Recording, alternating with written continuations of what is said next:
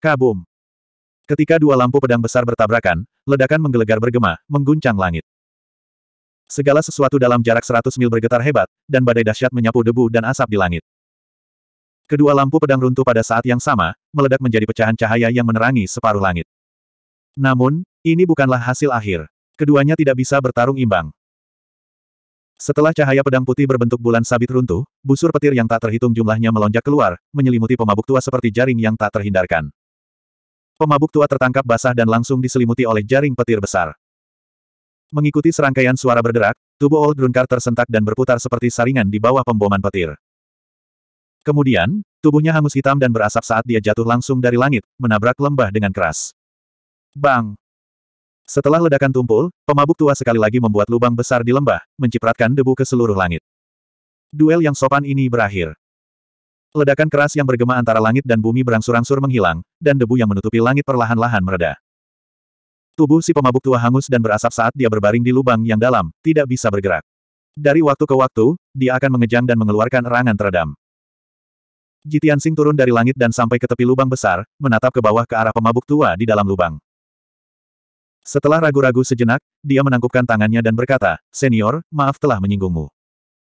Kemudian, dia melambaikan tangannya dan menggunakan teknik rahasia. Sinar cahaya keemasan terkondensasi menjadi segel misterius. Segel. Setelah segel terbentuk, dia berteriak dan menunjuk ke arah si pemabuk tua dengan kedua tangannya. Segel misterius itu segera mengebor ke dalam tubuh si pemabuk tua dan menyelimutinya. Kekuatan segel meletus dan segera menyegel tubuh fisik, kekuatan sihir, dan kekuatan jiwa pemabuk tua.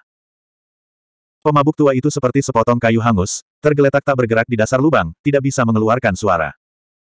Jitiansing melambaikan tangannya dan mengangkatnya keluar dari lubang yang dalam. Kemudian, dia membawa Old Drunkard dan terbang kembali ke Sunless Peak, dengan cepat menghilang di malam hari. Keributan yang disebabkan oleh pertarungan antara mereka berdua begitu besar sehingga membuat khawatir para ahli dan ahli dari Sekte Dewa Tersembunyi. Ketika Jitiansing kembali ke Sekte Dewa Tersembunyi, ada banyak diaken, penatua, dan murid yang memeriksa situasinya. Bahkan ada beberapa ahli yang terbang menuju lokasi kejadian. Untungnya, Gerakan Jitiansing disembunyikan, jadi dia tidak ditemukan oleh siapa pun. Dia membawa Old Drunkard kembali ke halaman kecil tempat dia tinggal dan melemparkan Old Drunkard ke tempat tidur. Tidak dapat berjuang atau melawan, pemabuk tua itu hanya bisa menatapnya dengan mata terbuka lebar, menunjukkan ekspresi kemarahan dan pertanyaan yang intens. Jitiansing melihat penampilannya yang menyedihkan dan tidak bisa membantu tetapi menghiburnya. Senior, saya tidak punya pilihan selain melakukan ini. Saya hanya bisa meminta Anda untuk menderita sebentar. Dengan itu, dia mengucapkan mantra dan menggali ke dalam tanah, menyelam jauh ke dalam tanah.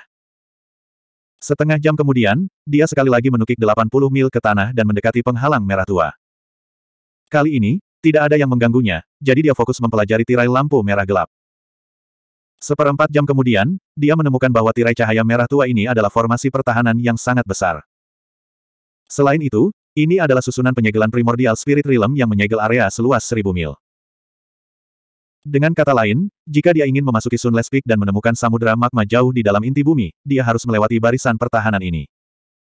Hampir tidak mungkin bagiku untuk memecahkan susunan penyegelan alam roh primordial dengan pencapaian dan kekuatanku.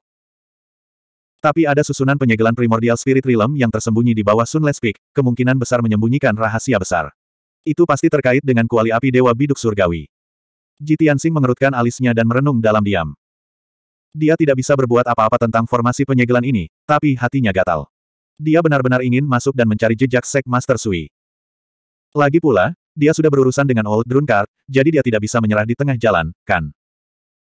Saat dia mengerutkan kening dan berpikir, suara pemakaman surga terdengar di benaknya. Itu hanya susunan penyegelan primordial spirit realm tingkat rendah, apa yang begitu sulit tentang itu?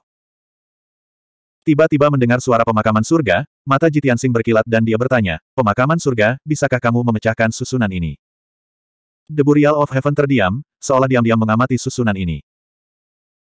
Setelah sekitar sepuluh napas, suaranya terdengar lagi, ini memang susunan penyegelan alam roh primordial tingkat rendah, dan itu adalah susunan penyegelan alam roh primordial tingkat pemula.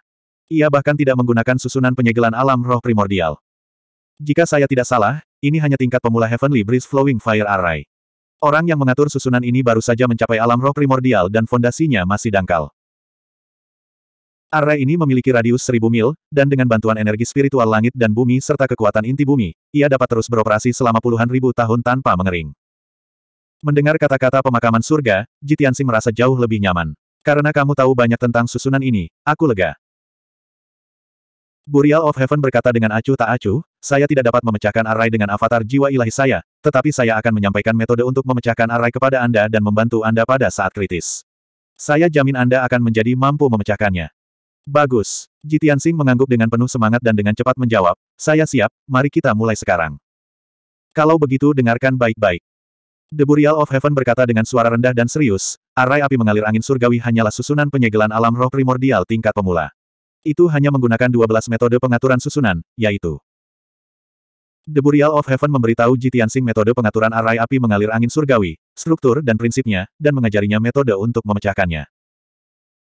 Setelah 15 menit, ketika pemakaman surga selesai, Jitiansing menghafal metode untuk memecahkan susunan dan mempelajarinya dengan serius untuk waktu yang lama.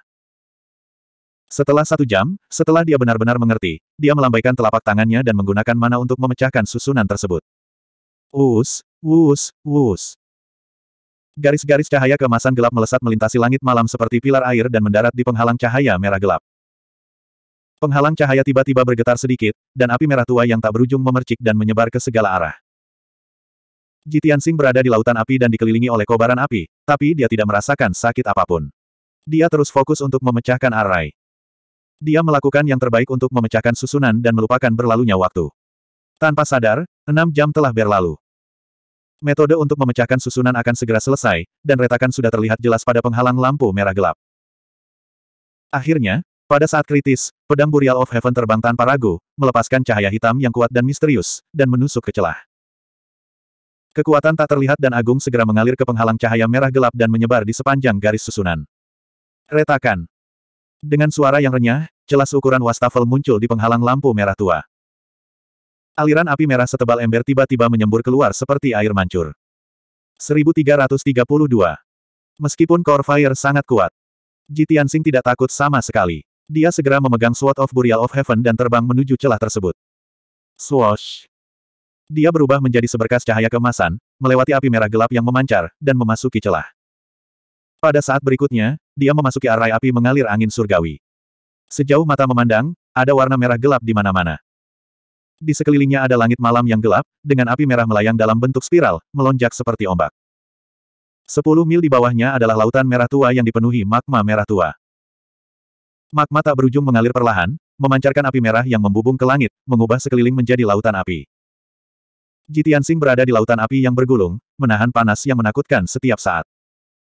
Tapi tubuhnya telah disempurnakan secara ekstrim, dan pertahanannya sangat kuat. Dia sama sekali tidak takut dengan core fire. Dia melihat sekeliling dan dengan cepat melihat bahwa lautan magma ini sangat luas, seolah tidak ada habisnya. Di atasnya ada lapisan batu, di bawahnya ada lautan magma, dan ada jarak 10 mil di antaranya. Medan aneh seperti itu sangat langka di kedalaman bumi. Dia yakin bahwa lautan magma ini selalu ada sejak zaman kuno. Selain itu, Master Sekte Sui dan kuali api Dewa Gayung Surgawi yang dia cari ada di lautan magma ini. Tapi lautan magma ini terlalu luas, dan terlalu sulit untuk menemukan seseorang dan kuali dewa. Jitiansing tidak punya pilihan lain. Dia hanya bisa melepaskan kekuatan jiwanya ke lautan magma dan mencari dari selatan ke utara. Dia terbang di atas lautan magma, dan ke mana pun dia lewat, kekuatan jiwanya akan memindai sekitar 30 mil, mencari dengan hati-hati. Lautan lava yang luas ini tidak sederhana. Itu berisi kekuatan tak terlihat dan misterius yang menekan kekuatan jiwanya. Di dunia luar, kekuatan jiwanya bisa mencari radius 100 mil. Tapi di lautan magma ini, dia hanya bisa mencari radius 30 mil. Tanpa sadar, dua jam berlalu. Jitiansing dengan hati-hati mencari lautan magma dalam radius 200 mil. Sayangnya, dia tidak menemukan petunjuk apa pun, dan tidak ada jejak Master Sekte Sui atau kuali api Dewa Biduk Surgawi. Dia hanya bisa memperluas area pencarian dan mencari dengan sabar. Waktu berlalu dengan tenang, dan segera, 10 jam telah berlalu. Jitiansing mencari dalam radius 2000 mil dan mencari di seluruh lautan lava, tetapi dia masih tidak dapat menemukan Patriark Sui dan kuali api Dewa Biduk Surgawi. Namun dalam prosesnya, dia bertemu dengan beberapa monster iblis kuat yang hidup di lautan magma. Ada raksasa lava yang tingginya ratusan meter. Seluruh tubuhnya terkondensasi dari lava, dan memiliki kekuatan yang sangat menakutkan. Ada juga beberapa roh api yang tingginya lebih dari 10 meter dan memiliki berbagai bentuk. Mereka biasanya tampak seperti bola api merah tua, tidur dengan tenang di lautan lahar. Begitu musuh mendekat, roh api itu akan dibangunkan dan berubah menjadi berbagai bentuk, melancarkan serangan dengan gesit dan cepat.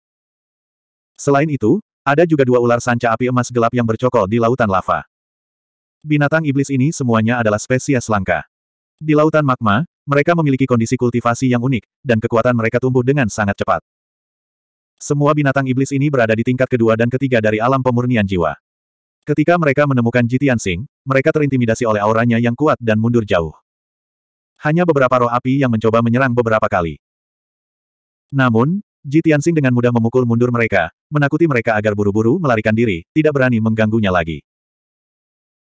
Aku sudah mencari selama 10 jam dan mencari di seluruh lautan lava, tapi aku masih tidak bisa menemukan Patriark Sui dan kuali api Dewa Gayung Surgawi.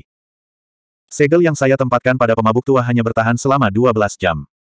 Waktu hampir habis. Jika saya masih tidak dapat menemukan Patriark Sui, setelah segel pemabuk tua itu dilepas, masalah ini akan terungkap. Pada saat itu, saya khawatir akan ada beberapa liku-liku, dan akan ada kesalahpahaman dan konflik yang tidak perlu. Jitiansing merenung dalam diam, lalu mengerutkan alisnya dengan cemas. Dia tidak bisa mengerti. Dia telah dengan jelas mencari di seluruh lautan lava, tetapi mengapa dia tidak dapat menemukan Patriark Sui dan kuali api Dewa Biduk Surgawi? Mungkinkah Patriark Sui dan kuali tidak berada di lautan lava, dan deduksinya salah? Setelah berpikir keras untuk waktu yang lama, Jitiansing tiba-tiba mendapat inspirasi saat dia memikirkan kemungkinan tertentu. Jika mereka tidak berada di lautan lahar, mungkinkah mereka lebih dalam lagi? Memikirkan hal ini, dia buru-buru mengebor lautan lava, dan terbang lebih dalam ke bawah tanah. Suhu lava sangat panas, cukup untuk melelehkan harta sihir tingkat jiwa biasa. Tubuh Jitiansing terbungkus lapisan cahaya keemasan, melindungi dirinya sendiri. Dia bisa dengan bebas melakukan perjalanan melalui lautan lava, dan dia tidak akan dirugikan. Segera, dia melewati lautan lava sedalam lebih dari 20 mil, dan mengebor lapisan batu bawah tanah. Dia melepaskan kekuatan spiritualnya, dan menyebarkannya ke segala arah, dengan hati-hati mencari di bawah tanah. Sekitar dua jam kemudian, dia sampai di tengah lautan lava, dan itu terletak di lapisan batu 120 mil di bawah tanah. Tiba-tiba, kekuatan spiritualnya mendeteksi fluktuasi kekuatan spiritual yang agung di lapisan batu tidak jauh di depannya. Ada juga api mengalir merah gelap yang menyelimuti lapisan batu dalam radius 10 mil, seperti bola cahaya yang sangat besar. Akhirnya ketemu. Pasti ada di sini. Semangat Jitiansing segera terguncang, dan dia buru-buru mengebor ke depan. Dalam sekejap mata, dia mendekati bola api yang mengalir. Setelah mengamati dengan cermat dengan kekuatan spiritualnya, dia menemukan bahwa ada sebuah gua besar yang tersembunyi di lapisan batu yang terbungkus bola cahaya. Gua itu setidaknya seribu kaki lebarnya. Kekuatan jiwa ilahi yang luas dan perkasa serta aura nyala api yang keras dan kuat datang dari gua itu. Namun, gua itu dilindungi oleh bola api yang mengalir. Jika dia ingin masuk dan memeriksa situasi di dalam gua, dia harus menghancurkan perisai cahaya besar dari bola api. Dia dengan hati-hati mengamati untuk waktu yang lama, dan menemukan bahwa bola api besar yang mengalir ini juga merupakan perisai cahaya yang dibentuk oleh formasi pertahanan. Formasi ini adalah formasi api mengalir angin surgawi, yang telah dia hancurkan sebelumnya, tetapi itu adalah versi formasi yang lebih kecil, dan kekuatannya lebih padat, dan pertahanannya lebih kuat. Tapi ini bukan masalah baginya. Dia mengulangi trik yang sama, dan menggunakan seluruh kekuatannya untuk mematahkan formasi. Setelah dua jam, dia membuat lubang di perisai cahaya yang dibentuk oleh api merah gelap yang mengalir. Us! Dia berubah menjadi cahaya keemasan yang mengalir, melewati lubang, dan memasuki formasi. Dia berjalan menyusuri lapisan batu yang tebal sekitar 10.000 kaki, lalu memasuki sebuah gua kosong. Baru sekarang dia melihat situasi di dalam gua. Gua itu berbentuk lonjong seperti telur, dan dinding batu di sekitarnya kasar dan tidak rata. Jelas bahwa itu terbentuk secara alami. Dinding batu yang awalnya gelap terbakar menjadi merah oleh api geosentris. Seluruh gua dipenuhi dengan api yang mengalir, dan sangat luas dan perkasa seperti banjir. Di tengah gua, ada altar emas dengan lebar 300 kaki dan tinggi 10 kaki. Di puncak altar kuno dan misterius, terdapat kuali perunggu kuno sebesar rumah. 1333 Mata Jitiansing terpaku pada tripod naga perunggu. Dia tidak bisa mengalihkan pandangan darinya. Gaya tripod perunggu kuno dan sederhana. Tidak ada pola atau pola yang rumit. Itu sederhana tapi megah. Selain enam telinga dan sembilan naga sebagai hiasan, ada empat baris kata-kata kuno yang terukir di tripod. Bahkan dengan pengetahuan dan pengalamannya, dia tidak dapat mengidentifikasi apa kata-kata itu. Dia hanya tahu bahwa tripod perunggu kuno, misterius, dan agung ini pastilah tripod api dewa gayung besar yang akan dia dapatkan. Tripod ilahi berdiri tak bergerak di puncak altar. Ada sedikit warna merah gelap pada tripod dan memancarkan panas yang mengerikan. Di dalam tripod perunggu, ada angin surgawi dan api mengalir yang tak ada habisnya. Itu dimuntahkan dari mulut sembilan naga, membentuk sembilan pilar api berbentuk naga yang tidak menghilang untuk waktu yang lama. Jitiansing menatap Divine Tripod dengan mata cerah. Dia kagum dan hatinya tergerak. Tetapi pada saat ini, suara wanita yang dingin dan bermartabat tiba-tiba terdengar di dalam gua. Siapa kamu? Jitiansing tiba-tiba terbangun. Dia segera menoleh dan melihat ke utara gua. Dia melihat bahwa di tepi utara gua, ada platform setinggi sepuluh kaki. Ada singgasana lebar di atasnya. Tahta itu sangat indah dan indah. Itu bertatahkan semua jenis permata merah tua, emas gelap dan ungu yang mempesona. Itu memancarkan aura sakral dan mewah. Yang terpenting, singgasana ini sangat bermanfaat bagi kultivasi seseorang. Di singgasana mewah duduk seorang wanita tua berjubah hijau mewah. Wanita tua itu tampak seperti berusia 70-an atau 80-an. Rambutnya yang sepanjang pinggang telah berubah menjadi perak dan diikat dengan sanggul yang bermartabat dan elegan dengan jepit rambut giok. Namun wajah wanita tua itu tidak terlihat tua. Kulitnya masih putih dan lembut. Dia tidak berbeda dengan seorang wanita berusia tiga puluhan. Wajahnya tidak bisa disebut cantik, tetapi dia memiliki temperamen yang bermartabat dan elegan. Dia tampak sangat mulia. Matanya cerah dan dalam, mereka mengandung cahaya kebijaksanaan, tetapi mereka tidak agresif. Meskipun dia memelototi Ji Tianxing, tamu tak diundang, dengan permusuhan yang terpancar dari tubuhnya, tatapannya tidak tajam. Ji Tianxing percaya bahwa wajah seseorang adalah cerminan dari hati seseorang. Melihat wajah dan mata wanita tua berambut perak ini, dia bisa menebak bahwa dia pasti wanita tua yang baik hati dan baik hati. Namun, meski aura wanita tua berambut perak itu lembut, tubuhnya mengandung kekuatan yang cukup untuk mengguncang langit dan bumi. Auranya sangat kuat, sekuat gunung, menyebabkan Jitiansing merasa hormat di dalam hatinya. Dia hampir bisa segera menentukan bahwa kekuatan wanita tua berambut perak itu telah lama melampaui ranah spirit refinement dan mencapai ranah essence spirit. Setelah hening sejenak, dia berjalan ke tengah gua dan membungkuk pada wanita tua berambut perak dari jauh. Namun, sebelum dia sempat menyebutkan namanya, ekspresi wanita tua berambut perak itu berubah drastis saat melihat wajahnya. Dia telah duduk di singgah sana, bermeditasi dan berkultivasi sepanjang waktu. Pada saat ini, dia melebarkan matanya karena terkejut dan menatap Jitian Sing dengan tidak percaya. Dia benar-benar duduk dengan swoosh. Anda, Mas, Guru. Ekspresi wanita tua berambut perak itu sangat rumit. Matanya berkedip-kedip, dan pinggiran matanya sedikit basah. Dia memegang tahta dengan satu tangan dan berdiri dengan tubuh gemetar. Dia dengan cepat berjalan menuju Ji Tianxing. Ji Tianxing segera menelan kata-kata yang akan dia ucapkan dan menatap wanita tua berambut perak itu dengan bingung. Aneh, saya belum menyebutkan nama dan identitas saya. Kenapa dia begitu emosional? Tidak, dia bahkan tidak mengenalku. Bahkan jika dia melihatku, dia tidak akan terlalu emosional. Dia pasti salah mengira aku sebagai orang lain. Memikirkan hal ini, dia dengan cepat berkata kepada wanita tua berambut perak itu, Senior, jika saya tidak salah, Anda adalah Master Sui dari Sekte Dewa Tersembunyi, bukan? Saya Jitian Sing, penguasa domain dari domain Tianchen. Saya datang ke Sekte Dewa Tersembunyi untuk mengunjungi Guru Sui di bawah perintah Kaisar. Setelah mengatakan ini, dia mengeluarkan Cell of Mountains and Rivers dan memberikannya kepada wanita tua berambut perak. Tubuh wanita tua berambut perak itu menegang, dan dia tertegun di tempat. Dia mengerutkan kening dan menatap Jitiansing untuk waktu yang lama. Kemudian dia bergumam dengan suara rendah, tidak mungkin. Bagaimana bisa ada orang yang mirip di dunia ini? Setelah beberapa saat, dia menekan keterkejutan dan kegembiraan di hatinya dan menjadi tenang. Dia menatap Cell of Mountains and Rivers dan mengamatinya dengan hati-hati sejenak. Kemudian, dia menilai Jitiansing beberapa kali sebelum berbicara dengan nada tenang, saya adalah ketua sekte dari Sekte Dewa Tersembunyi, Sui Ruoyu. Anak muda, Apakah Anda baru saja mengatakan bahwa Anda adalah penguasa domain dari domain Tianchen, Ji Tianxing? Itu benar, ini aku. Ji Tianxing menekan keraguan di hatinya dan mengangguk dengan tenang. Sui Ruoyu terus menatapnya dan bertanya, kamu datang ke sekte kami untuk mencariku di bawah perintah kaisar umat manusia. Iya, Ji Tianxing mengangguk lagi. Dia tidak menunjukkannya di wajahnya, tetapi dia bergumam di dalam hatinya, jadi tuan dari sekte dewa tersembunyi disebut Sui Ruoyu. Nama yang begitu elegan, dia pasti cantik ketika dia masih muda. Namun, dia adalah Master Sekte, ahli alam roh primordial. Dia pikir aku siapa barusan. Bagaimana dia bisa kehilangan ketenangannya dan menjadi begitu emosional. Saat ini, Sui Ruoyu berbalik dan berjalan kembali ke singgah sana dan duduk dengan anggun. Dia menatap Jitiansing dengan mata yang dalam dan berkata dengan nada bermartabat, karena kamu mengaku berada di bawah perintah kaisar, apakah kamu memiliki keputusan kaisar?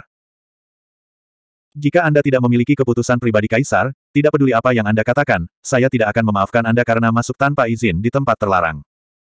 Jitiansing sudah siap. Dia dengan cepat mengeluarkan keputusan pribadi kaisar dari cincin spasialnya. Tuan Sui, saya tidak punya pilihan selain melanggar tanah terlarang. Sekte Anda telah menyembunyikan masalah tentang kuali dewa dan istana kekaisaran terlalu dalam. Bahkan para tetua di sekte tidak mengetahuinya. Saya tidak dapat melihat Anda, jadi saya memutuskan untuk masuk tanpa izin sendiri. Dia memberikan penjelasan sederhana. Setelah dia selesai berbicara, dia melambaikan tangannya dan mengeluarkan cahaya kemasan.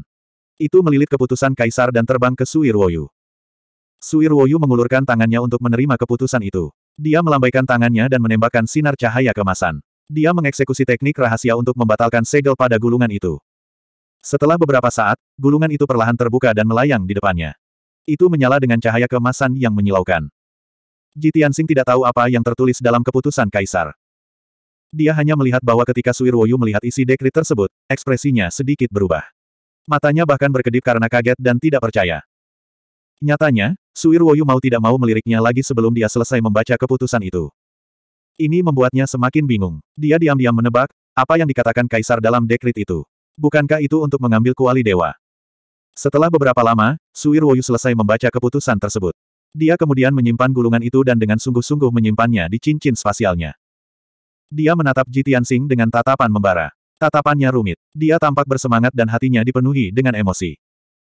Setelah hening sejenak, dia kemudian bertanya, Jitian Sing, apakah kamu benar-benar penerus Kenshin? 1334. Mungkinkah Raja telah menunjukkan identitasku dalam dekrit dan mengatakan bahwa aku adalah penerus Kenshin? Ini adalah pikiran pertama yang muncul di benak Jitian Sing.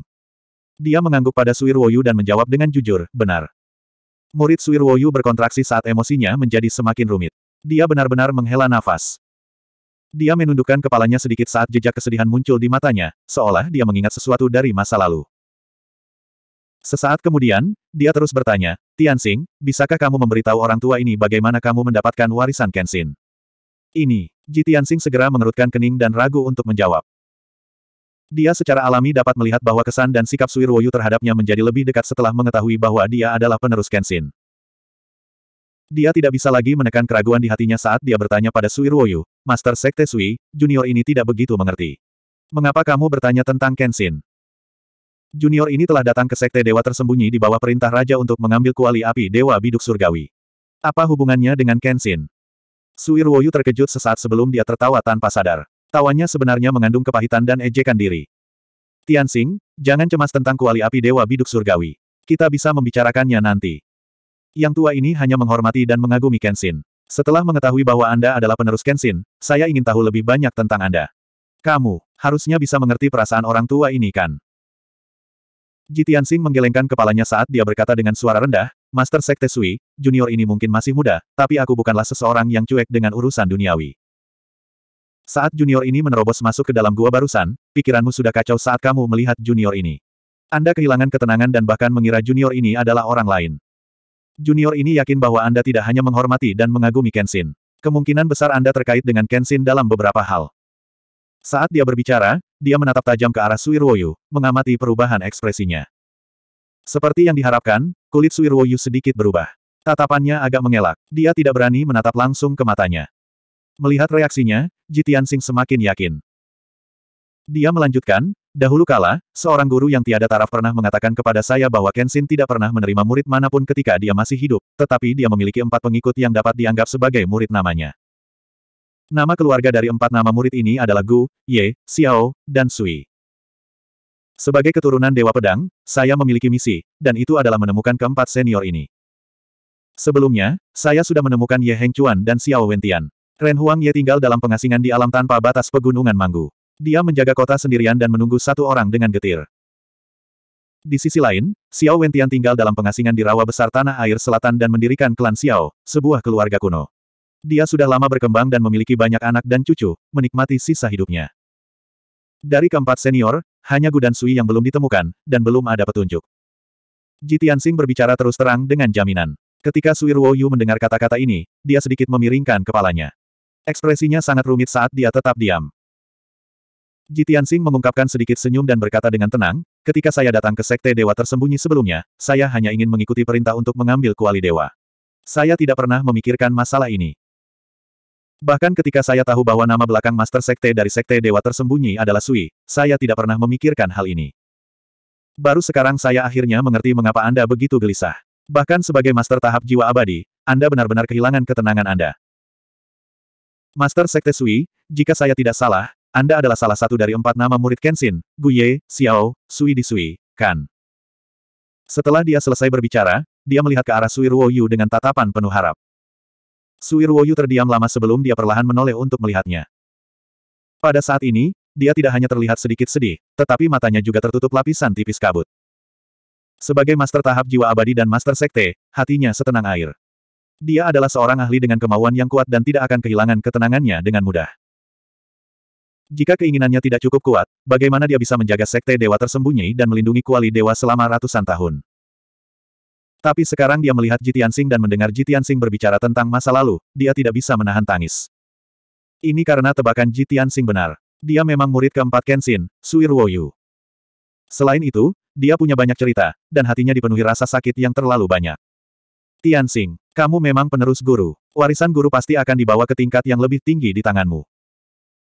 Ketika Anda berbicara dengan semangat dan keyakinan, penampilan percaya diri dan semangat tinggi Anda sangat mirip dengan guru saat itu. Sui Ruoyu memandang Ji Tianxing dan tersenyum. Nada suaranya dipenuhi dengan emosi dan kenangan. Ketika Ji Tianxing melihat ekspresi dan matanya, dia tiba-tiba merasakan deja vu, dan hatinya tersentuh. Sepertinya aku pernah melihat ekspresi dan mata sekte Master Sui pada Xiao Linger sebelumnya. Itu semacam penyesalan karena tidak bisa mencintai seseorang secara mendalam.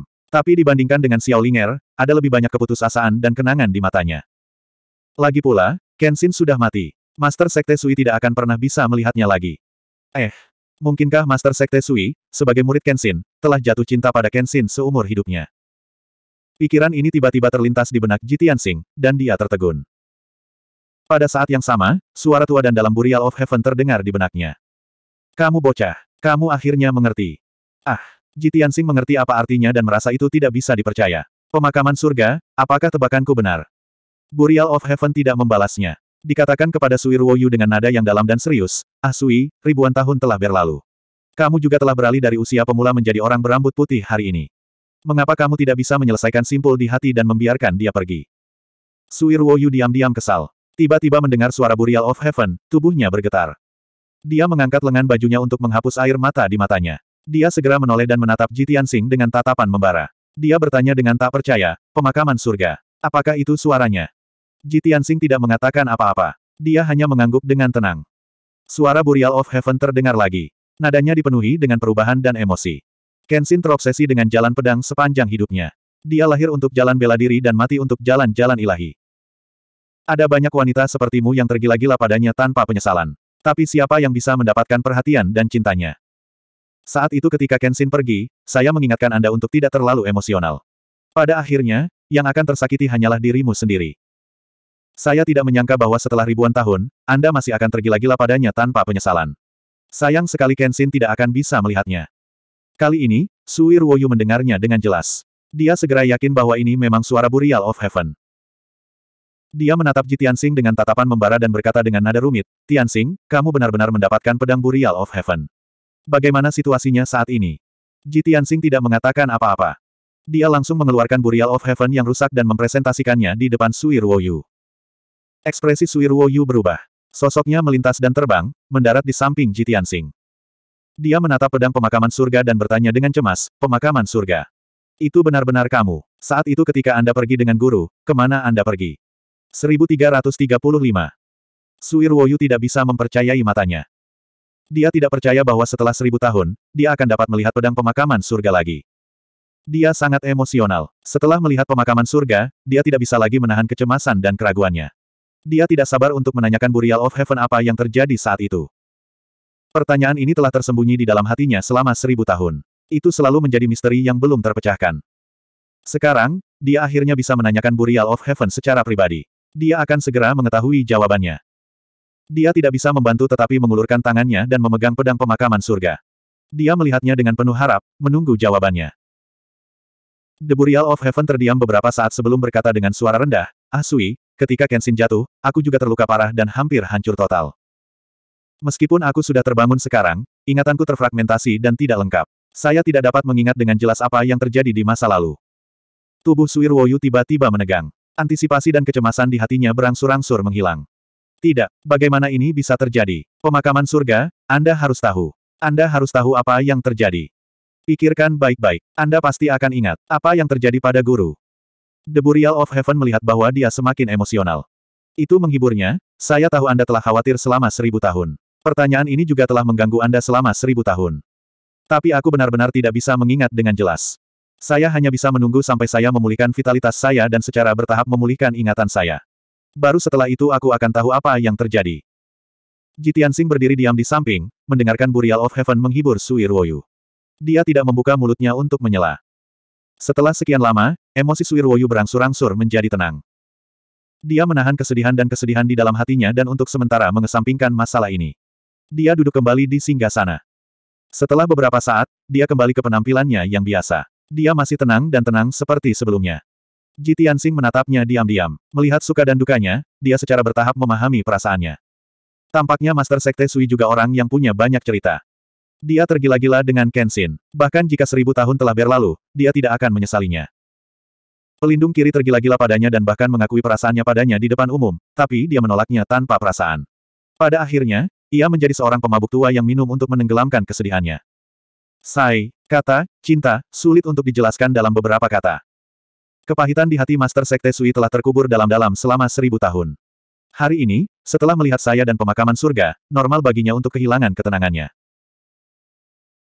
Pikiran ini melintas di benak Jitian Sing, dan dia tidak bisa menahan diri untuk tidak bergumam dengan suara rendah, begitu saya melihat Kenshin, saya akan membuat kesalahan seumur hidup, jika saya tidak melihat Kenshin, saya akan membuat kesalahan. Untuk kehidupan. Pada saat ini, Sui Ruoyu menatap Jitian Sing dengan mata jernih dan berkata dengan tenang, Tianxing, aku baru saja kehilangan ketenanganku dan membiarkanmu melihat lelucon. Namun, kami baru saja membicarakan masalah pribadi. Sekarang, wanita tua ini akan membicarakan bisnis denganmu. Jitiansing mengangguk dan sedikit membungkuk, tolong bicara, Master Sekte Sui. Ekspresi Sui Ruoyu serius, dan dia berkata dengan sungguh-sungguh, karena kamu di sini atas perintah Kaisar, kamu pasti sudah tahu asal-usul kuali api Dewa Gayung Surgawi dan asal-usul Sekte Dewa Tersembunyi. Namun, Kuali api Dewa Gayung Surgawi adalah salah satu artefak ilahi perlindungan klan dari pengadilan kekaisaran, dan memiliki kekuatan penahan yang sangat kuat terhadap ras iblis. Namun, item ini adalah artefak ilahi dan tidak mudah dikendalikan. Oleh karena itu, pengadilan kekaisaran tidak akan menggunakannya kecuali jika benar-benar diperlukan. Sekte kami lahir untuk melindungi kuali api Dewa Biduk Surgawi, dan kemungkinan besar kami akan mati untuk itu di masa depan. Mendengar ini, Ji Tianxing menggelengkan kepalanya dan berkata sambil tersenyum, Sekte Master Sui, tidak perlu khawatir. Saya di sini untuk mendiskusikan masalah ini dengan Anda untuk mengambil kuali api Dewa Biduk Surgawi. Kaisar telah memberikan perintah untuk memberikan kuali ini kepadaku. Jika saya mengambilnya, Sekte Dewa Tersembunyi tidak perlu lagi melindunginya. Sui Ruoyu mengungkapkan senyum penuh arti dan menggelengkan kepalanya dengan ringan. Tidak, Tianxing, kamu salah. Sekte Dewa tersembunyi lahir untuk melindungi kuali api Dewa Timba Langit, jadi wajar jika kita akan tetap bersamanya. Nanti, wanita tua ini akan membantu Anda memurnikan kuali api Dewa Biduk Surgawi dan mendapatkan persetujuannya. Namun, setelah Anda mendapatkan kuali api Dewa Gayung Surgawi, wanita tua ini akan memberi Anda hadiah besar. Hadiah apa? Jitiansing mengerutkan kening bingung dan bertanya tanpa sadar. Sekte Dewa Tersembunyi. Sui Ruoyu menunjuk ke atas kepalanya dan berkata dengan nada serius, wanita tua ini akan memberikan seluruh sekte dewa tersembunyi kepadamu. Aku tidak bisa menerima ini. Jitiansing tertegun sejenak, dan dengan cepat melambaikan tangannya untuk menolak. Master Sekte Sui, Sekte Dewa Tersembunyi adalah darah, keringat, dan air mata dari beberapa generasi Sekte Anda. Saya tidak dapat menerima hadiah Anda. Sui Ruoyu menatapnya dengan tatapan tegas dan berkata dengan nada yang tidak perlu dipertanyakan lagi, masalah ini bukanlah sesuatu yang bisa kau dan aku putuskan. Ini adalah keputusan Kaisar, dan dia telah menyatakannya dengan jelas dalam urutan. Ini, Ji Tianxing terdiam. Lagi pula, itu adalah perintah Kaisar, dan dia tidak bisa membantahnya.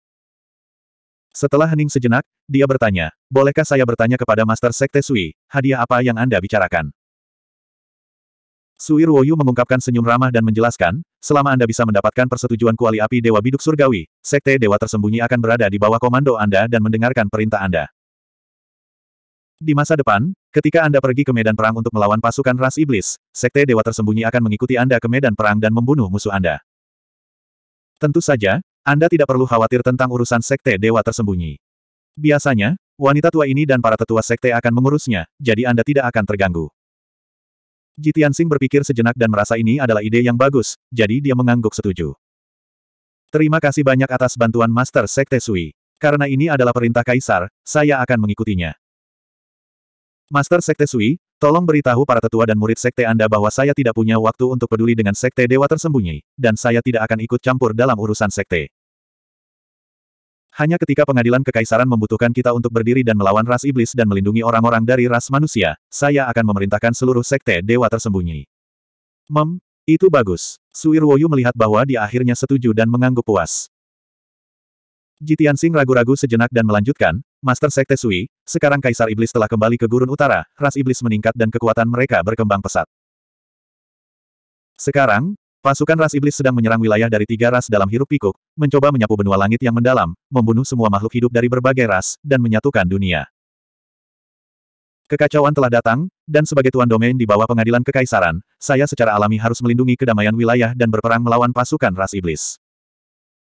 Pada tahun lalu, saya telah menemukan Kaisar Ye dan Xiao Wentian dan meminta mereka untuk keluar dan membantu saya melawan Kaisar Iblis. Kaisar Ye dan Xiao Wentian sama-sama menyetujui masalah ini dan ketika saya pergi ke Gurun Utara, mereka akan keluar dan membantu saya. Hari ini, saya sangat berharap Sekte Master Sui dapat keluar dari pengasingan dan bergabung dengan kami dalam melawan dan membubarkan konspirasi Kaisar Iblis. Setelah selesai berbicara, dia menatap Suirwoyu dengan tulus dan membungkuk dalam-dalam. Suirwoyu tidak ragu sama sekali dan mengangguk sambil tersenyum. Tianxing, sebenarnya, kamu tidak perlu bertanya pada wanita tua ini, wanita tua ini akan melakukan yang terbaik untuk membantumu. Lagi pula, ini adalah perintah Kaisar. 1336 Melihat Suirwoyu setuju dengan tegas, Jitiansing menghela nafas lega dan buru-buru membungkuk untuk mengucapkan terima kasih. Terima kasih banyak atas bantuan Sekte Master Sui. Sekte Master Sui sangat benar, junior ini tidak bisa cukup berterima kasih. Suirwoyu melambaikan tangannya, menunjukkan bahwa dia tidak perlu bersikap sopan. Dia tersenyum ramah dan berkata, di depan umum, yang tua ini adalah bawahan terpercaya raja. Secara alami, saya akan mematuhi perintah raja dan membantu Anda dengan seluruh kekuatan saya. Secara pribadi, yang lama ini adalah murid keempat guru, dan Anda adalah penerus warisan guru. Anda setara dengan saudara junior orang tua ini. Bagaimana bisa yang tua ini tidak membantumu? Apalagi yang tua ini juga membenci ras iblis sampai ke tulang. Saya berharap bisa seperti guru, memegang pedang suci sepanjang tiga kaki dan membantai semua iblis di dunia. Mendengar ini, Ji Tianxing mengangkat alisnya dan bertanya dengan penuh minat, Oh. Master Sekte Sui juga memiliki perseteruan darah dengan ras iblis. Itu benar. Sui Ruoyu mengangguk dan menjelaskan dengan suara rendah, yang tua ini lahir di keluarga jenderal sejak muda. Tiga generasi leluhur saya semuanya adalah jenderal gagah berani dari pengadilan kekaisaran dan memiliki prestasi militer yang luar biasa. Ketika yang tua ini masih muda, ras iblis mendatangkan malapetaka di dunia. Kaisar iblis menginvasi negara bagian pusat dan dengan ceroboh membantai rakyat jelata. Kakek, ayah, dan paman orang tua ini semuanya mati di medan perang di bawah pedang para ahli ras iblis. Belakangan, seluruh keluarga orang tua ini dikepung oleh para ahli ras iblis. Lebih dari 300 orang dalam keluarga tewas. Rajalah yang menyelamatkan yang lama ini, membiarkan yang lama ini bertahan. Belakangan, orang tua ini bertemu dengan guru. Bimbingan dan ajaran gurulah yang memungkinkan orang tua ini menjadi ahli bela diri dan memiliki prestasi hari ini. Berbicara di sini, Suirwoyu berhenti sejenak. Mengingat kejadian-kejadian tragis di masa lalu, bahkan setelah seribu tahun, dia masih dipenuhi dengan kesedihan dan kemarahan. Kata-katanya dipenuhi dengan kebencian yang mengerikan terhadap ras iblis. Setelah guru meninggalkan Profound Sky Continent, yang lama ini mewarisi warisan ayahku dan terus melayani istana kekaisaran dengan setia. Raja melihat bahwa yang tua ini berbakat dan cerdas dan tidak cocok untuk memimpin pasukan dalam pertempuran. Karena itu, dia memberikan yang lama ini misi rahasia. Dengan demikian, yang lama ini bergabung dengan sekte tersembunyi ilahi dan mulai sebagai sesepuh sekte dalam. 300 tahun yang lalu, saya dipromosikan menjadi master sekte dan secara pribadi menjaga kuali dewa. Setelah mendengarkan narasi masa lalu Suirwoyu, Jitiansing akhirnya memahami keseluruhan cerita. Tidak heran Patriark Air mendengarkan pengadilan kekaisaran dan menjaga kuali untuk pengadilan kekaisaran. Dia menyembunyikan identitasnya di sini selama ratusan tahun dan masih setia. Saya benar-benar tidak menyangka bahwa Master Sekte Sui, Kenshin dan Raja memiliki hubungan seperti itu. Jika itu masalahnya, Kaisar Langit pasti berpikir panjang dan keras sebelum mengirimku ke Sekte Dewa tersembunyi untuk mencari Sekte Master Sui dan mendapatkan kuali api Dewa Biduk Surgawi. Sekte, Sekte, Sekte, Sekte. Itu sebabnya dia rela kuali dari ini. Sekte Master Sekte, Master.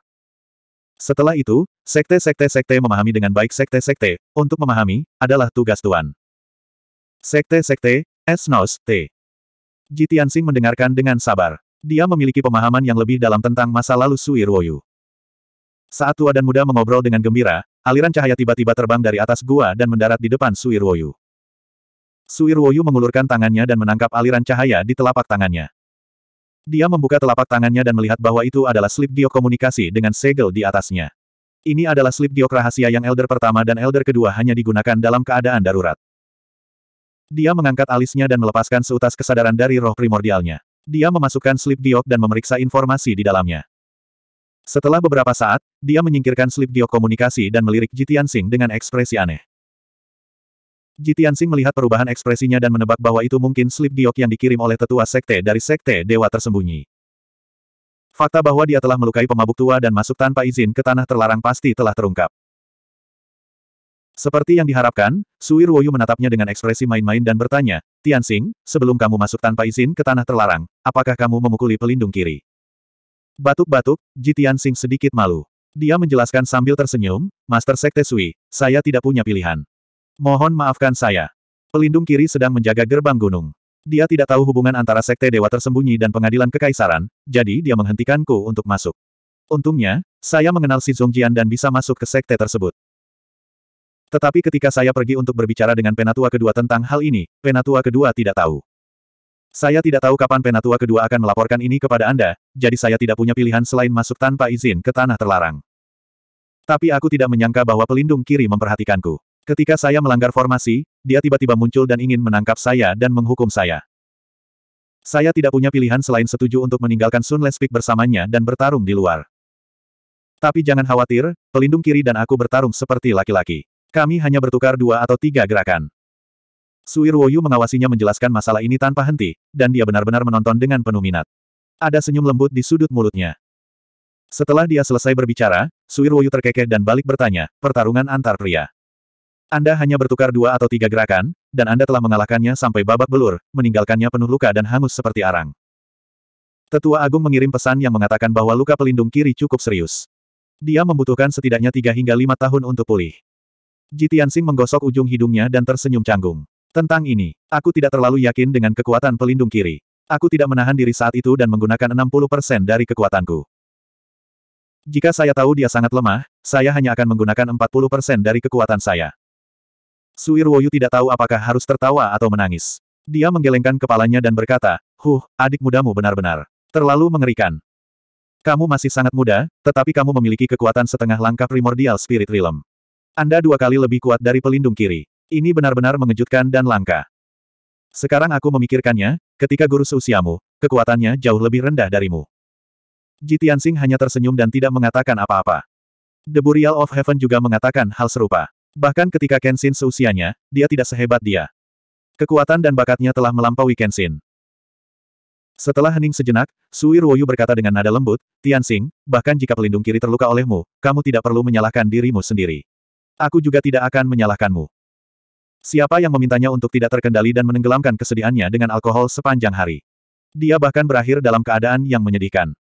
Saya paling memandang rendah pria seperti ini. Dia menyerah pada dirinya sendiri setelah mengalami kemunduran dan berpikir bahwa dia bisa melunakkan hatiku. Hanya seseorang seperti guru yang lebih suka menghancurkan daripada menyerah dan maju terus dengan berani adalah pahlawan sejati, pendekar pedang yang tiada taranya. Dengan pedang King Feng setinggi tiga kaki di tangannya, dia berani memanggil matahari dan bulan untuk mengubah langit. Melihat penghinaan Sui Ruoyu terhadap pemabuk tua, Jitiansing merasa simpati pada pemabuk tua yang malang. Sekte Master Sui, sebenarnya, pelindung kiri juga orang yang sentimental. Dia terlalu emosional, itulah sebabnya dia sangat terluka. Dia mengalami kemunduran dan diejek oleh orang lain. Dia lebih suka mengundurkan diri dari posisi pelindung tetapi tetap tinggal di gerbang gunung dari Sekte Dewa Tersembunyi. Dia tidak bisa melepaskanmu dan ingin melindungimu selama sisa hidupnya. Sui Ruoyu mengerutkan kening dan berkata dengan marah, Tianxing, kamu benar-benar tahu tentang ini. Pasti si bocah cerewet si Zongjian. 1337 Ketika Ji Tianxing melihat bahwa Sui Ruoyu marah, dia segera menghiburnya dan memohon keringanan hukuman untuk si Zongjian. Lagi pula, sebagai murid sekte, si Zongjian sebenarnya berani berbicara tentang hubungan antara ketua sekte dan pelindung kiri secara pribadi. Ini adalah kejahatan menyinggung atasan seseorang. Jika ditangani sesuai dengan aturan sekte, si Zongjian harus dikurung selama 3-5 tahun atau dipukuli habis-habisan. Untungnya, Sui Ruoyu sangat mencintai dan menghargai, saudara junior, ini, Ji Tianxing. Setelah mendengar kata-kata bujukannya, kemarahan Sui Ruoyu mereda. Dia memasukkan perintah ke slip biokomunikasi dan mengirimkannya.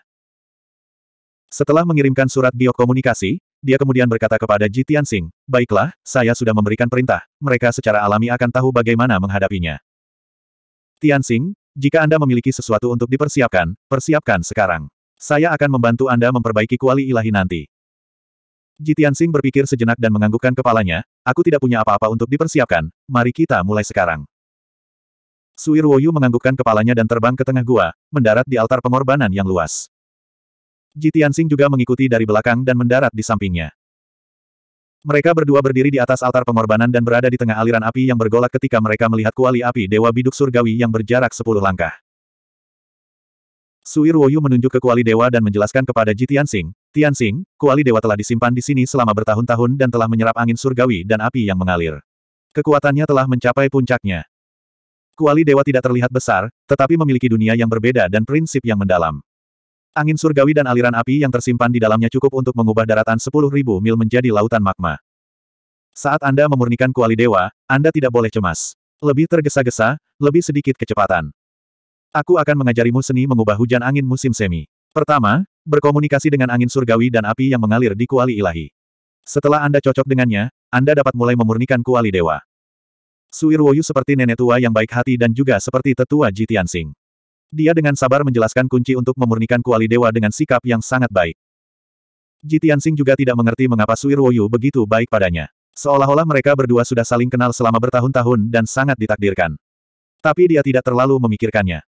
Dia menekan pikiran-pikiran yang mengganggu ini di lubuk hatinya dan mendengarkan dengan saksama. Satu jam kemudian, Sui Ruoyu memberikan teknik rahasia angin musim semi dan hujan kepadanya. Dia duduk di altar dan berkultivasi. Butuh empat jam penuh baginya untuk menguasai teknik rahasia. Kemudian, dia mulai menggunakan teknik rahasia angin musim semi dan hujan, menyuntikkan jiwa dan mana ke dalam kuali ilahi untuk berkomunikasi dengan angin surgawi dan api mengalir di kuali ilahi. Pada awalnya, kuali dewa menolak kekuatan sihir dan jiwa dewanya dan tidak mengizinkannya untuk mendekat sama sekali. Selanjutnya, Kuali Dewa bahkan melepaskan kekuatan dewa yang kuat yang mendorongnya mundur seratus kaki, hampir menyebabkan dia jatuh dari altar.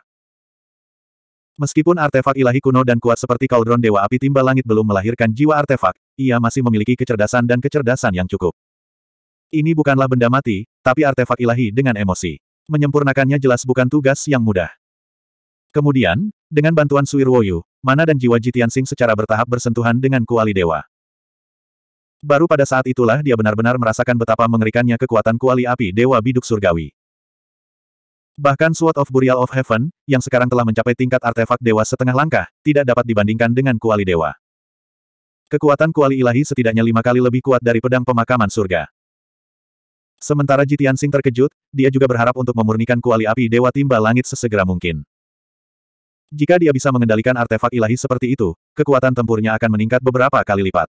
Pada saat itu, dia akan mampu mendominasi dunia dan menyapu segalanya di hadapannya. Seiring waktu berlalu, delapan jam berlalu dengan sangat cepat. Jitiansing menggunakan delapan jam penuh sebelum kuali ilahi menerima mana dan kekuatan jiwanya. Dia juga secara bertahap memahami struktur internal kuali ilahi. Dia sangat terkejut dengan ketepatan dan kedalaman formasi susunan kuali ilahi. Selanjutnya, jiwa dan mananya mulai berkomunikasi dengan angin surgawi dan api yang mengalir di kuali dewa. Di dalam kuali dewa, ada bola cahaya putih keperakan yang melilit bola cairan merah tua. Cahaya putih keperakan itu adalah angin surgawi, dan cairan merah gelap itu adalah api mengalir geosentris. Meskipun keduanya tidak terlihat besar, pada kenyataannya mereka dipadatkan sepuluh ribu kali, dan kekuatan mereka dipadatkan hingga batasnya. Hanya sedikit angin surgawi, setetes api mengalir, yang dapat menghancurkan langit dan bumi sejauh seratus mil. Jitiansing dengan hati-hati mengendalikan jiwa dan mananya, secara bertahap bersentuhan dengan angin surgawi dan api yang mengalir, berulang kali berkomunikasi dan mencocokkannya. Sui Ruoyu berdiri di samping, memperhatikan gerakannya dan kuali dewa, takut akan terjadi kecelakaan. Keduanya fokus dan melupakan berlalunya waktu. Pada saat yang sama, di puncak Sunless Peak, matahari terbenam. Lebih dari sepuluh tokoh berkumpul di ruang konferensi sekte di puncak gunung. Ada pria dan wanita di antara orang-orang ini, dan kebanyakan dari mereka setengah baya atau lanjut usia. Mereka semua berpakaian mewah dan memiliki aura yang luar biasa. Kursi utama di utara adalah tahta Master Sekte Sui Ruoyu. Itu selalu kosong. Tetua kedua dan dua tetua berambut putih berdiri di sisi kiri aula. Penjaga kanan dan keempat tetua berdiri di sisi kanan aula. Ada juga seorang murid muda berjubah putih yang berdiri di tengah aula dengan wajah penuh rasa bersalah. Dia tampak menyedihkan dengan kepala menunduk, seolah mengakui kesalahannya. Tanpa diragukan lagi, murid muda ini adalah Si Zongjian. Selain dia, orang yang paling menarik perhatian di seluruh aula adalah pemabuk tua yang berpakaian compang camping dan memiliki wajah hitam pekat. Pemabuk tua itu duduk di aula yang bersih dan rapi, punggungnya bersandar pada pilar merah dengan cat emas. Dia tampak sengsara dan diambang kematian, yang membuat orang bersimpati padanya. Suasana di aula sangat menindas dan khusyuk, dan semua tetua memasang ekspresi jelek.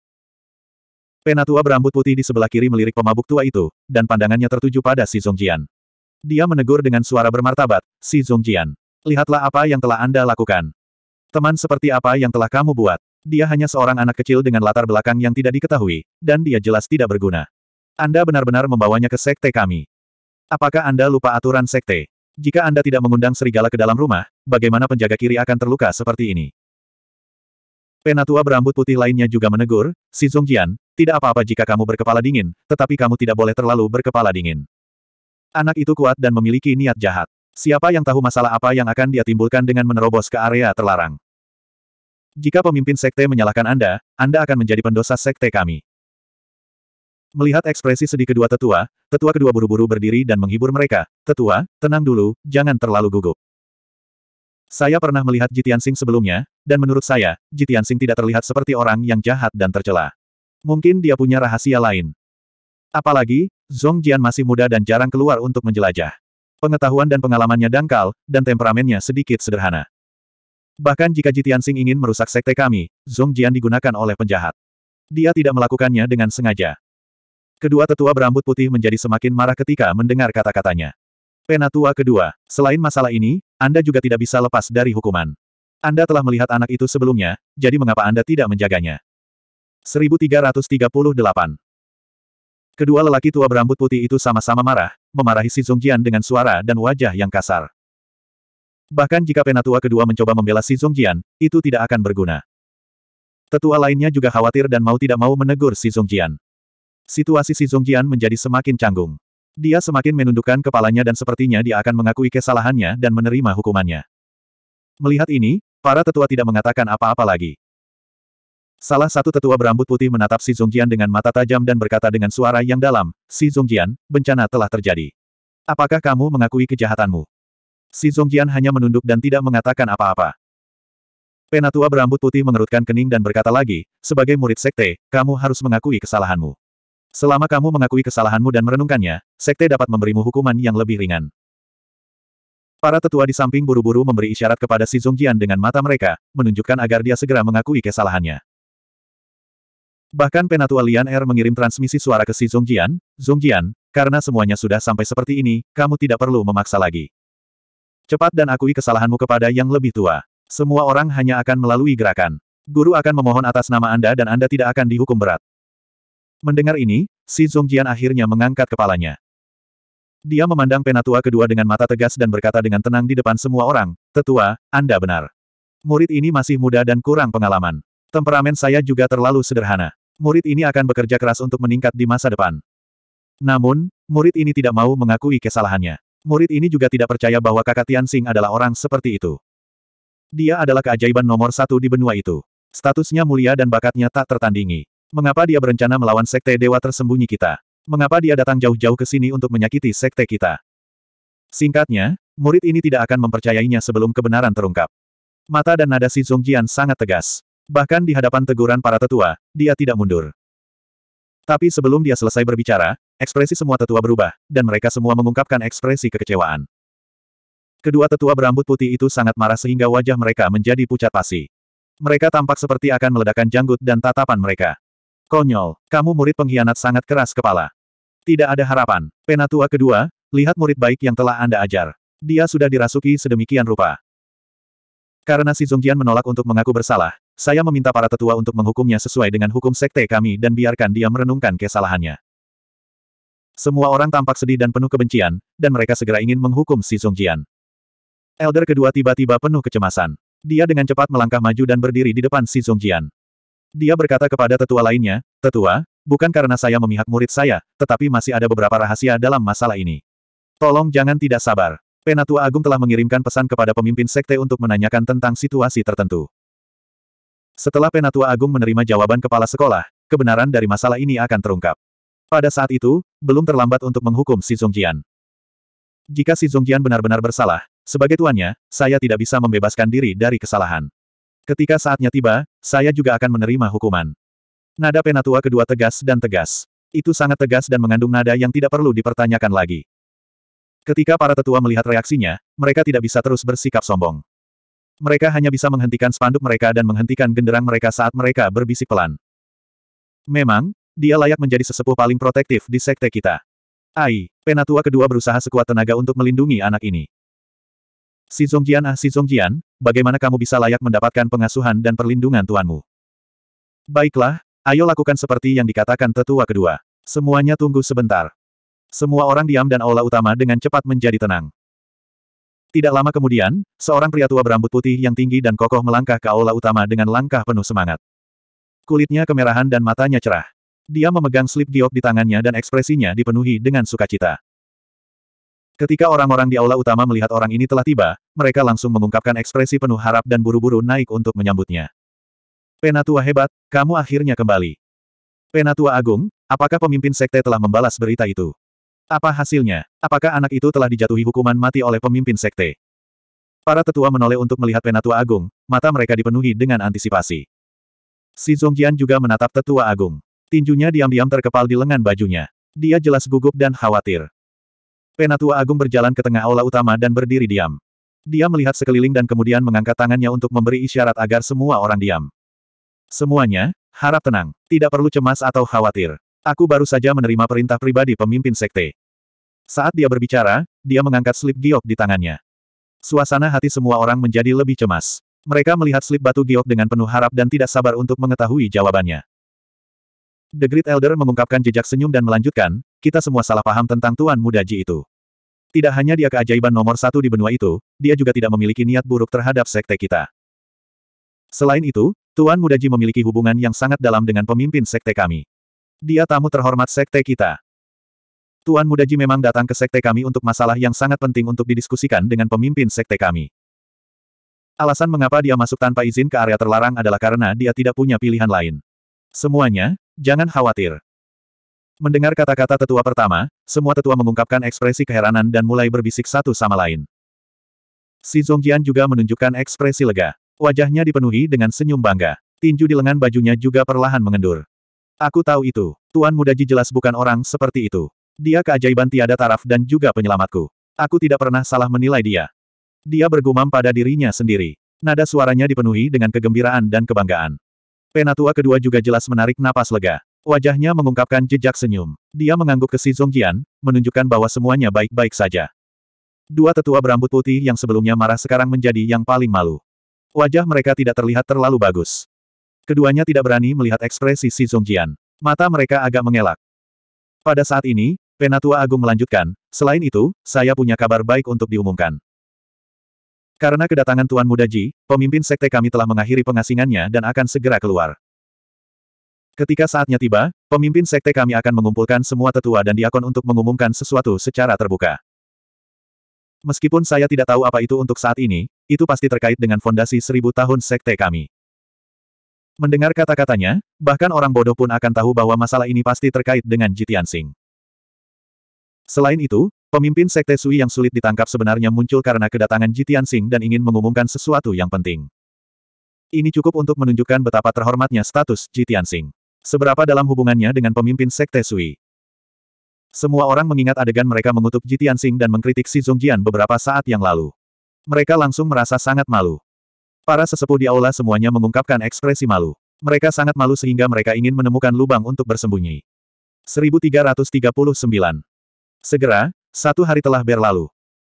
Itu malam lagi, dan matahari terbenam merah gelap menyinari sekte dewa tersembunyi.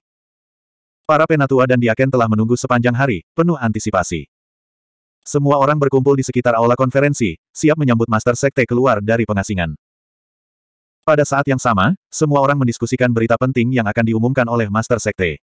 Apa itu? Saat matahari perlahan terbenam dan menghilang di ujung cakrawala, dunia berangsur-angsur menjadi redup.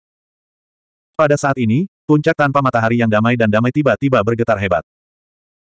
Seluruh Sunless Peak bergetar, dan terdengar suara, bum bum bum, yang datang dari bawah tanah, seolah-olah telah terjadi gempa besar. Para tetua, diaken, dan murid di puncak semuanya terkejut, dan ekspresi mereka berubah secara dramatis. Semua orang berpencar ke segala arah, berteriak ketakutan, tidak tahu apa yang telah terjadi. Tanah di puncak gunung terus memantul ke atas dan ke bawah saat retakan muncul satu demi satu. Tebing di tengah gunung runtuh, dan bebatuan yang tak terhitung jumlahnya jatuh ke kaki gunung. Seluruh Sunless Peak segera menjadi gempar. Seluruh sekte berada dalam kekacauan. Untungnya, goncangan dan goncangan hebat hanya berlangsung beberapa saat sebelum menghilang. Sunless Peak dilindungi oleh susunan yang kuat, sehingga tidak mengalami kerusakan yang berarti. Sama seperti semua orang masih dalam keadaan sok, api tiba-tiba meledak dari tanah dan bergegas ke langit dari segala arah, mewarnai separuh langit menjadi merah. Pilar api yang tak terhitung jumlahnya, masing-masing setebal tangki air, menyembur keluar dari tanah dan lembah di sekitar Sunless Peak, dan saling memantulkan di langit. Untuk sesaat, area dalam jarak seribu mil menjadi merah seperti api, dan gelombang panas bergulung. Para tetua dan murid dari Sekte Dewa tersembunyi semua menatap langit tanpa sadar, dan mereka sedikit linglung dan terpana ketika mereka melihat api yang menyilaukan yang memenuhi langit. Di bawah tatapan kagum semua orang, api merah yang memenuhi langit dengan cepat mengembun menjadi sembilan naga merah besar yang sebesar gunung. Mengaum, mengaum, mengaum. Beberapa raungan naga bergema terdengar saat sembilan naga api merah berputar di langit, lalu menggali kembali ke tanah. Desir-desir-desir. Sesaat kemudian, sembilan naga api merah menghilang dari tanah. Api yang memenuhi langit juga menghilang, dan dunia kembali menjadi gelap. Di antara pegunungan dan sungai di sekitar puncak tanpa matahari, panas terik dan magma yang meluap benar-benar menghilang dengan kecepatan yang sangat cepat. Para tetua dan murid dari Sekte Dewa tersembunyi dapat dengan jelas merasakan bahwa api dan gelombang panas antara langit dan bumi telah benar-benar menghilang. Gunung, sungai, dan bumi dalam jarak seribu mil dari area tersebut juga berangsur-angsur berubah dari keadaan panas terik menjadi keadaan sedingin es yang normal. Perubahan tak terlihat semacam ini membuat semua orang menggaruk-garuk kepala, dan mereka mulai berdiskusi dengan ragu. Apa yang baru saja terjadi? Puluhan ribu pilar api melesat ke langit dan menyatu menjadi sembilan naga api, berputar-putar di udara. Ini adalah fenomena langit dan bumi. Saya mengerti. Master Sekte telah keluar dari pengasingan. Itu sebabnya ada fenomena seperti itu. Itu pasti karena Master Sekte telah mencapai tahap pencapaian hebat. Iya, pasti Tuan Sekte Master yang keluar dari pengasingan yang menyebabkan fenomena ini. Seseorang menebak bahwa anomali langit dan bumi terkait dengan Master Sekte Sui dan berteriak dengan penuh semangat. Oleh karena itu, banyak murid yang berpikir demikian dan penuh dengan darah panas saat mereka bersorak gembira. Suasana seluruh Sun Lespik segera berubah dari panik menjadi kegembiraan liar. Semua orang bersemangat tinggi. Suasana ceria berlangsung sekitar 15 menit sebelum Penatua Agung mengumumkan dengan nada bermartabat, semua murid, segera membentuk formasi. Semua diaken dan Penatua, ikuti kursi ini ke aula konferensi dan dengan hormat menunggu Master Sekte keluar dari pengasingan. Banyak murid segera mengambil tindakan. Lebih dari 100 murid secara sadar berbaris di alun-alun di depan istana. Lebih dari 20 diaken dan penatua memasuki balai konferensi dan berdiri dalam dua baris, menunggu Master Sekte Sui keluar dari pengasingan. Semua orang sibuk selama sekitar 15 menit sebelum mereka berbaris rapi dalam formasi. Pada saat ini, cahaya keemasan yang menyilaukan membubung ke langit dari dasar Sunless Peak. Us! Cahaya keemasan yang suci dan menyilaukan terbang ke langit dan menerangi ratusan mil seperti matahari yang terik. Kemudian, cahaya keemasan perlahan mendarat di puncak Sunless Peak dan terbang ke balai konferensi. Apakah itu para murid di alun-alun di luar balai konferensi atau para penatua dan diaken di balai konferensi, mereka semua dengan jelas melihat dua sosok dalam cahaya kemasan. Oleh karena itu, lebih dari seratus murid di luar aula konferensi berlutut di tanah dan dengan hormat berteriak serempak, selamat datang Master Sekte yang keluar dari pengasingan. Para tetua dan diaken di aula utama juga membungkuk dan berteriak serempak, selamat atas kesuksesan besar keahlian ilahi, pemimpin sekte. Cahaya keemasan yang mempesona perlahan memudar dan dua sosok, satu tua dan satu muda, muncul dengan jelas di depan semua orang. Keduanya berdiri di kepala balai konferensi. Di sebelah kiri adalah seorang wanita berambut putih, master sekte dari sekte dewa tersembunyi, Sui Ruoyu. Berdiri di sampingnya adalah seorang pemuda tampan berjubah putih, Ji Tianxing. Tatapan Sui Ruoyu menyapu balai konferensi sebelum dia sedikit mengangguk kepada para tetua dan diaken. Dia berkata dengan nada bermartabat, semuanya, tolong bangun. Terima kasih, Master Sekte. Para penatua dan diaken menanggapi dan kemudian mengangkat kepala untuk melihat ke arah Sui Ruoyu dan Jitian Sing. Sehari yang lalu, di mata para tetua, Jitiansing adalah seorang bajingan yang berkomplot melawan sekte dewa tersembunyi dan masuk tanpa izin ke area terlarang. Dia bersalah atas kejahatan paling keji. Saat ini, Jitiansing sedang bepergian bersama dengan Sui Ruoyu. Selanjutnya, dia berdiri di sampingnya. Hubungan mereka terlihat sangat harmonis dan dekat. Para tetua dan diaken memandang Jitiansing dengan ekspresi tidak percaya dan malu. Sui Ruoyu berbalik dan berjalan ke kepala balai konferensi. Dengan bantuan Jitian Sing, dia perlahan duduk di singgasana yang mewah dan bermartabat. Kemudian, dia berkata dengan nada bermartabat, saya telah berkultivasi dalam pengasingan selama puluhan tahun. Saya telah berkonsentrasi untuk memahami seni ilahi, tetapi saya tidak pernah berhasil. Baru-baru ini, Ji Tianxing datang mengunjungi saya atas perintah Kaisar Ras Manusia, jadi saya mengambil kesempatan ini untuk keluar dari pengasingan. Para penatua dan diaken tercengang saat mendengar kata-katanya. Wajah mereka penuh keheranan dan kecurigaan. Sekte Guru, bukankah Anda mencapai kesuksesan besar dalam seni ilahi? Anda baru saja menyebabkan anomali langit dan bumi. Penatua pertama, yang merupakan pemimpinnya, mau tidak mau bertanya pada Sui Ruoyu. Para tetua dan diaken lainnya mengangguk setuju dan memandang Sui Ruoyu dengan bingung. Sui Ruoyu juga tertegun sejenak. Kemudian, dia tersenyum dan menjelaskan, bagaimana bisa begitu mudah untuk memahami teknik kultivasi jiwa primordial. Saya hanya mengasingkan diri selama puluhan tahun. Bagaimana saya bisa menguasai seni ilahi? Adapun anomali langit dan bumi barusan, itu disebabkan oleh Little Junior Brother yang berhasil memurnikan Divine Cauldron. Mendengar ini, para tetua dan diaken di aula semakin tercengang. Ekspresi mereka menjadi semakin menarik. Apa, anomali langit dan bumi tidak ada hubungannya dengan Master Sekte? Adik laki-laki, siapakah adik muda Master Sekte? Mungkinkah, Tuan Muda Ji? Ya Tuhan, Master Sekte dan Tuan Muda Ji, memiliki hubungan yang tak terbayangkan. 1340 Kata-kata Suirwoyu membuat semua orang tercengang, sama sekali tidak bisa membuat kepala atau ekornya. Jitiansing hanya berdiri di samping singgasana dengan ekspresi tenang. Dia tidak mengatakan apa-apa dan tidak menjelaskan apa-apa. Suirwoyu memandang semua orang dengan tenang dan menjelaskan dengan nada serius, saya tahu bahwa setiap orang akan merasa sulit untuk memahami dan percaya, tetapi Jitiansing memang adik laki-laki saya. Hal ini sangat penting. Ini melibatkan ribuan tahun yang lalu dan niat awal dan tujuan mendirikan sekte kami. Ini adalah rahasia terbesar sekte kami. Hari ini, saya telah mengumpulkan semua orang untuk mengungkapkan rahasia tahun itu dan mengumumkan keputusan penting di depan semua orang. Suirwoyu berhenti sejenak. Ekspresi dan auranya menjadi lebih serius dan bermartabat. Semua penatua dan diaken juga menatapnya tanpa berkedip. Hati mereka dipenuhi dengan antisipasi dan urgensi. Sepuluh ribu tahun yang lalu, terjadi gempa bumi yang mengejutkan di pegunungan Vermilion Bird. Api bumi yang tak berujung menyembur keluar dari tanah dan menutupi langit, membakar puluhan ribu mil. Suara Suirwoyu terdengar di aula dan melekat di telinga semua orang. Nada suaranya rendah dan serius. Semua orang sangat pendiam. Mereka menahan napas dan mendengarkan dengan penuh perhatian. Mengikuti narasi Suirwoyu, adegan yang sesuai muncul di benak semua orang. Mereka membayangkan situasi saat itu.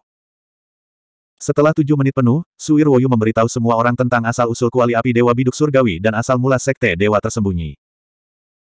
Tentu saja, dia hanya menyebutkan secara singkat bahwa dia adalah murid Kenshin dan memiliki hubungan dengan Jitian Sing.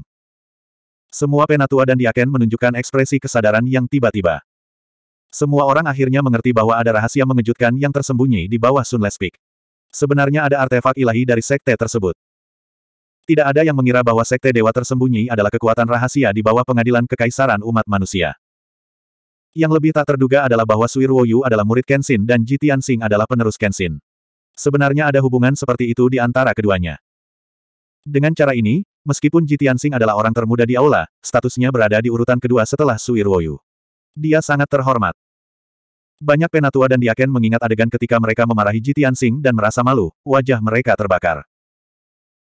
Secara khusus, kedua lelaki tua berambut putih itu menundukkan kepala dengan wajah memerah, tidak berani melihat ekspresi Jitiansing. Jitiansing tidak bisa menebak perasaan rumit dari kerumunan, jadi dia tetap diam. Dia berdiri di samping Sui Ruoyu, diam-diam berkomunikasi dengan dan memelihara kuali api Dewa Biduk. Pada saat ini, Sui Ruoyu berkata dengan nada bermartabat, karena semua orang telah memahami arti keberadaan sekte kami, sekarang saya akan mengumumkan sebuah berita. Menurut perintah Yang Mulia Raja, sekarang pasukan besar ras iblis menyapu seluruh dunia, situasi di tanah Tian Xuan sudah kacau, dan orang-orang kita dalam bahaya. Pada saat kritis ini, Yang Mulia Raja telah mempercayakan Jitian Sing dengan tanggung jawab yang berat. Dia telah mempercayakan kuali ilahi kepadanya sehingga dia dapat menggunakan kuali ilahi dan melindungi rakyat kita. Sebagai subjek pengadilan kekaisaran, sekte kita juga harus melangkah maju dengan berani di saat kritis ini untuk menyelamatkan rakyat kita dan mendukung umat manusia. Saya dengan ini mengumumkan bahwa mulai hari ini dan seterusnya, sekte dewa tersembunyi akan dipercayakan kepada Jitian Sing. Kita harus mematuhi perintahnya dan membantunya melawan ras iblis. Dari kursi ini hingga para murid, pelayan, dan pekerja serabutan dari sekte kami, tidak ada yang tidak menghormatinya. Tidak ada yang diizinkan untuk tidak mematuhi perintahnya. Ketika suara bermartabat Suirwoyu menyebar ke seluruh aula utama, aura ilahi yang tak berbentuk meledak dari tubuhnya dan menelan seluruh aula. Semua orang tercengang dengan berita ini. Jantung mereka berdetak kencang, dan wajah mereka dipenuhi rasa tidak percaya. Namun, semua orang terintimidasi oleh aura bermartabat Suirwoyu. Tidak ada yang berani menunjukkan sedikit pun ketidakpuasan, apalagi mengucapkan kata, tidak. Semua orang menundukkan kepala dan membungkuk dengan hormat. Mereka berteriak, kami akan mematuhi perintah Master Sekte. Suirwoyu puas dengan reaksi semua orang. Dia mengangguk dengan ekspresi puas dan menambahkan, tentu saja, Junior Broterji biasanya sibuk dan tidak punya waktu untuk mengatur urusan sekte. Urusan sekte, besar atau kecil, akan tetap dikelola oleh kursi ini. Selama Junior Broterji memiliki keputusan atau perintah penting, kursi ini dan sekte akan mengikuti mereka tanpa penundaan. Semua penatua dan diaken membungkuk lagi dengan ekspresi serius dan berkata serempak, kami akan mematuhi perintah. Suirwoyu menoleh untuk melihat Jitiansing di sampingnya, mengisyaratkan dia untuk mengatakan beberapa patah kata. Jitiansing mengangguk dan berkata dengan nada tenang, Tetua dan Diaken, berita yang baru saja diumumkan Master Sekte Sui adalah perintah yang mulia, kaisar, dan juga niatnya. Namun, tidak perlu bagi semua orang untuk gugup. Sekte Dewa Tersembunyi akan tetap menjadi Sekte Dewa Tersembunyi. Kami akan tetap bertahan di Sunless Peak dan terus menjaga kekuatan kami. Satu-satunya perubahan adalah ketika saya memimpin pasukan untuk berperang melawan pasukan ras iblis, semua orang akan bepergian dengan saya dan bertarung berdampingan. Penjelasan beliau sederhana dan mudah dipahami. Semua penatua dan diaken segera mengerti dan suasana gugup mereka banyak mereda. Setelah dia selesai berbicara, Suirwoyu mengumumkan akhir pertemuan dan melambaikan tangannya untuk membubarkan para penatua dan diaken. Lebih dari 20 penatua dan diaken meninggalkan aula dalam kelompok dua atau tiga orang dengan perasaan yang rumit. Mereka membahas masalah ini saat mereka berjalan. Hanya penatua agung dan penatua kedua yang tetap tinggal untuk melaporkan situasinya kepada Suirwoyu dan menangani beberapa urusan sekte. Jitiansing juga membungkuk dan mengucapkan selamat tinggal pada Suirwoyu. Sekte Master Sui, saya telah berhasil memurnikan kuali dewa. Anda juga telah mengumumkan beritanya di depan umum. Tujuan saya untuk perjalanan ini telah tercapai, jadi saya tidak akan memaksakan Anda lagi. Melihat dia akan pergi, Suirwoyu mendesaknya untuk tetap tinggal. Adik laki-laki, kamu baru saja memurnikan kuali dewa dan situasimu belum sepenuhnya stabil. Untuk memastikan tidak ada yang salah, Anda harus beristirahat di sekte selama satu malam. Belum terlambat untuk berangkat besok. The Great Elder dan Second Elder juga berbicara setuju dan mendesaknya untuk tetap tinggal. Tuan Mudaji, Anda datang terburu-buru. Sekte kami belum menerima Anda dengan baik dan tidak sopan. Bagaimana Anda bisa pergi dengan terburu-buru? Iya, Tuan Mudaji dan Tuan Sekte Tuan telah bertemu. Bagaimana mungkin Anda tidak menghabiskan waktu bersama? Selain itu, jika Anda akan memimpin sekte tersebut di masa mendatang, Anda harus menggunakan kesempatan ini untuk mempelajari lebih lanjut tentang sekte tersebut. Tidak dapat menolak keramahan seperti itu, Jitiansing hanya bisa mengangguk dan setuju untuk tinggal satu malam lagi di sekte Dewa Tersembunyi dan pergi keesokan paginya. Segera, berita itu menyebar ke seluruh sekte Dewa Tersembunyi. Seluruh sekte dewa tersembunyi tahu bahwa pemuda berjubah putih Ji Tianxing yang baru saja tiba sehari sebelum kemarin sebenarnya adalah jenius nomor satu di benua itu dan adik muda dari Master Sekte. Selain itu, setelah Master Sekte keluar dari pengasingan, dia secara pribadi mengumumkan bahwa dia akan mempercayakan seluruh sekte dewa tersembunyi kepadanya. Mulai hari ini dan seterusnya, sekte dewa tersembunyi akan berada di bawah komandonya. Sebuah batu mengaduk seribu riak. Seluruh sekte dewa tersembunyi gempar. Semua orang terkejut tak terlukiskan dan merasa bahwa itu tak terbayangkan. Orang yang paling bersemangat tidak lain adalah Si Jian. Saat pertama kali mendengar kabar tersebut, ia juga tidak berani mempercayainya. Dia tertegun untuk waktu yang lama sebelum dia bereaksi. Ketika dia pulih dari keterkejutannya, dia sangat bersemangat sehingga dia menari dan tertawa ke arah langit. Dia sangat bangga pada dirinya sendiri.